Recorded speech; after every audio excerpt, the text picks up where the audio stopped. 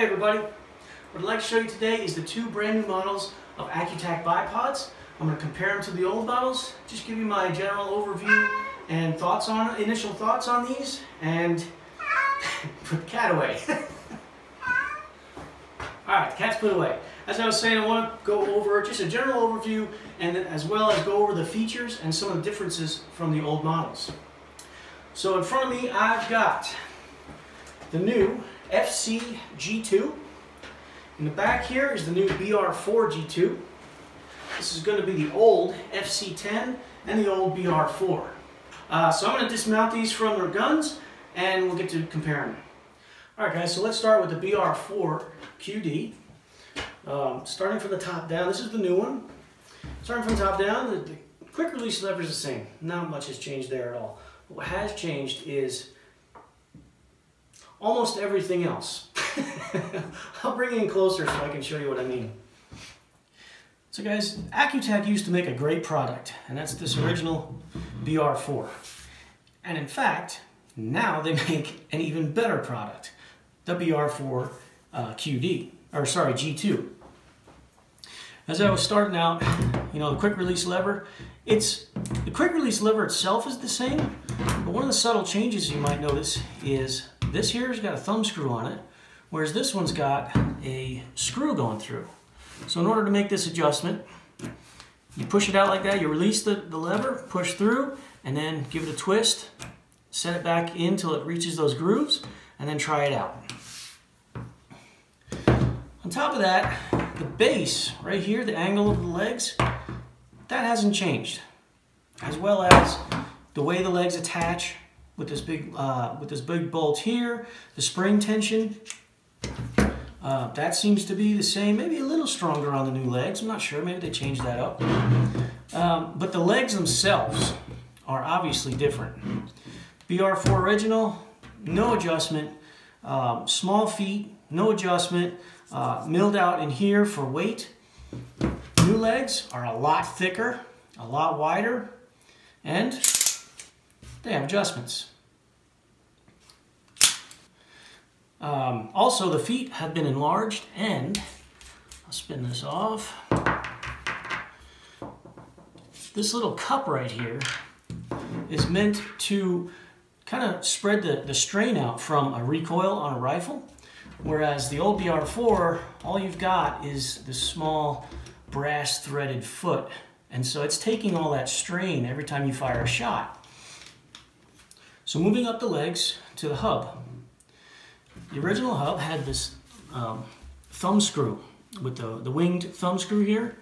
And if you can see, my hand, I don't have very big hands, and I'm kind of running my knuckles into the screw here, or the nut here, and I'm running my thumb, my knuckle here, I'm running it in, into this. So it's kind of tight in there. Um, for someone with even bigger hands, you know, this could be a little tedious almost, you know. And the way this works is tighten this down and it puts tension on a post going through. And that allows you to tilt back and forth. It's a good system, it works well. The new system is totally different. Instead of having this thumb screw, now you've got a lever. And what that lever does is it puts tension uh, through this slot and kind of clamps everything together. So when that's loosened up, there's your pivot. There's your tilt, back and forth. Then you just tighten that down. And a little something, if you don't like this sticking out this way, you give it a pull and you can set it to a different spot. Just that easy. And that's it for the BR4 uh, G2. All right, so now I'm gonna beat up on their new model because what would a reviewer be if I actually show you the cons as well as the pros? I'm loving everything about this so far. It's, I know it's going to do obviously more than this, just that right there does more. Stronger, better in all ways, but the price you pay for that is that it's heavier. You don't just have a solid leg, you've got an outside leg and an inside leg and all this mechanism down here, it adds to the weight. I don't know what the official weight is yet, and I don't have a scale to measure it, But I can tell just by picking up the two, this one's heavier.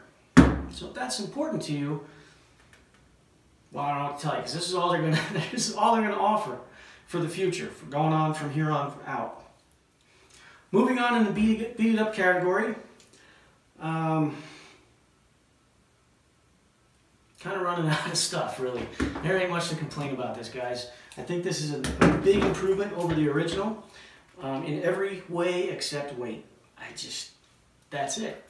Moving on, let's take a look at the FCG2 versus the old FC10QD. Uh, from what I understand, I think they're, all their new models are coming with, with quick release uh, mechanisms. But here's the FCG2. I'll bring in close, we'll go over some of the differences. All right guys, here's the new BR4G2. This is their big model. This is their model with the most features and it's um, one of the more expensive ones. Um, compared to the old FC10, which this is a direct replacement for, compared to the old FC10, the legs are shorter, but these legs extend. Now the old legs extend too, quite a bit, but I don't know, maybe they got feedback from shooters saying, I don't need all this. Give me something a little shorter, give me more options, and I'd be happier with that. So, out they came with this. I'm a fan. Almost straight out of the gate, I'm a fan of this. On the back side, you can see more how everything works.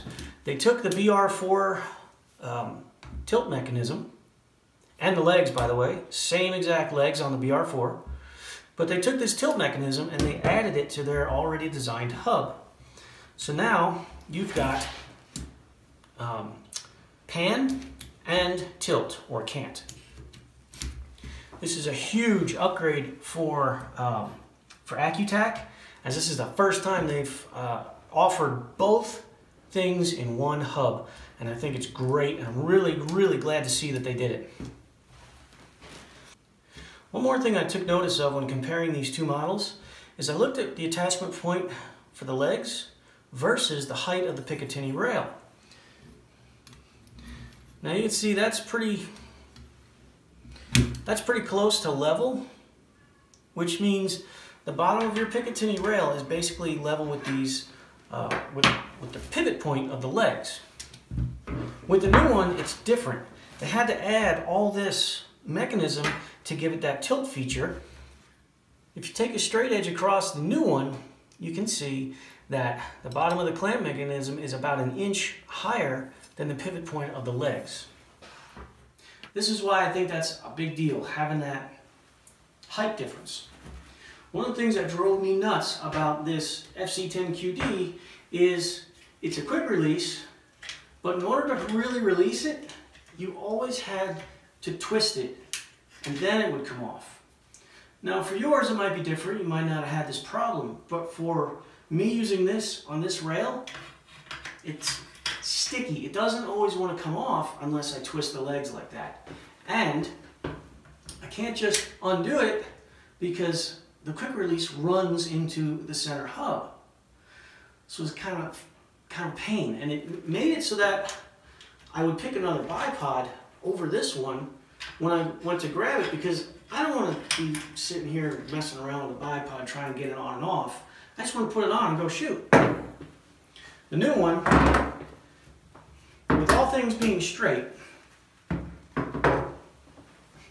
so with all things being straight, no tilt, no nothing like that, this now clears the legs. So you can grab it and just slap it right on. Oops. Gotta lock that down. So you can grab it and just lock it right on and you're done. It's a lot like the BR4. Quick to attach, quick to detach. I like that. It's a small detail that means a lot. The next difference this makes is kind of in the stability platform. If you look at this and you think of it as a triangle, okay, you want stability, the wider that triangle is, the more stable, okay? A narrow triangle, it's gonna tip easier. Also, where your center of gravity is, or your rifle, in that triangle, the lower it is, kind of the better.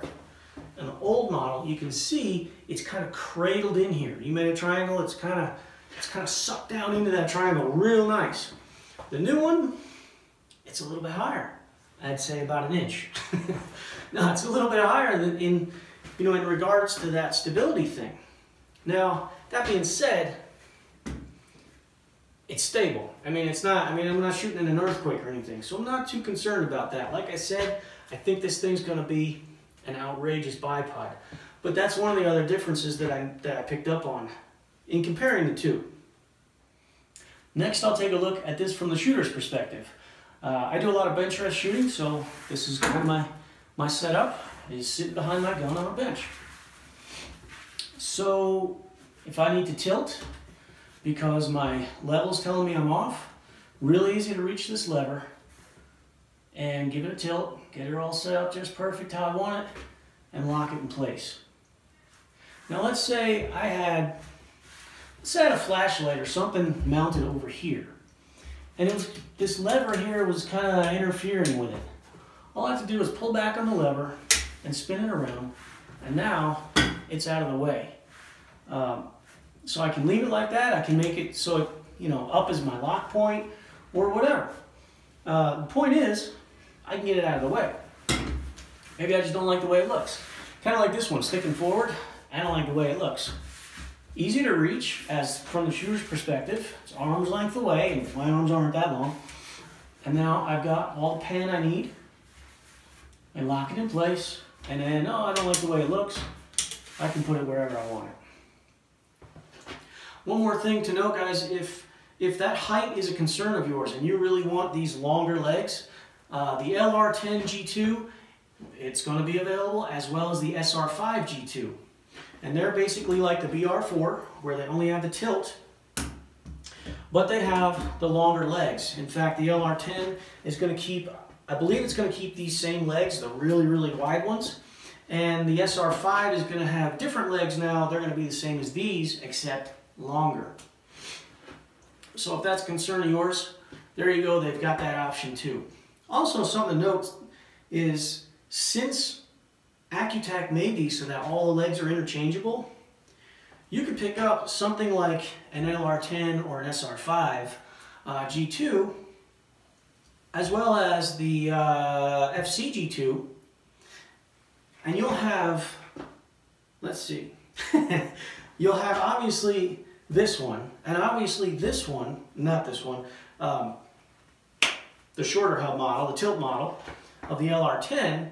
But then if you swap the legs out, you'll have this model with the pan and the tilt and the long legs, and you'll end up with a BR4 as well. So you buy two bipods, you end up with four because you can swap the legs all around. it's cool stuff. So there you have it guys. There's the quick overview and review of the highlights and some of the features and differences of the new FCG2 and BR4G2. If you're interested in these, you can head on over to the Accu-Tac uh, website and check it out online, or head on down to your favorite retailer and say, hey, I want this. Get it for me. As always, guys, happy shooting, and thanks for watching.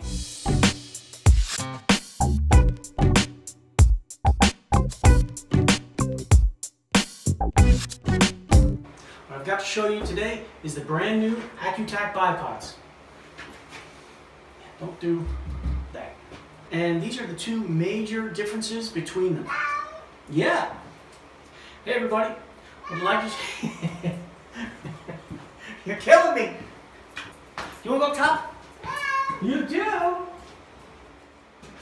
right. This